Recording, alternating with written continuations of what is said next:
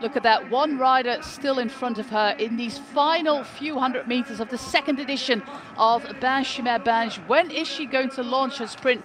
On her wheel, we find Christina Schweinberger. We have Ahtosalo there, Sanne Cant as well. She's eyeing up the competition with one final push there from her teammate. She's going to leave it really, really late, Lorena Wiebes. We have that turn in the final few hundred meters. You don't see the finish line until very, very late, but there it is. This is the story of this season. This is the season of Lorena Wiebes. There's nobody as fast as her.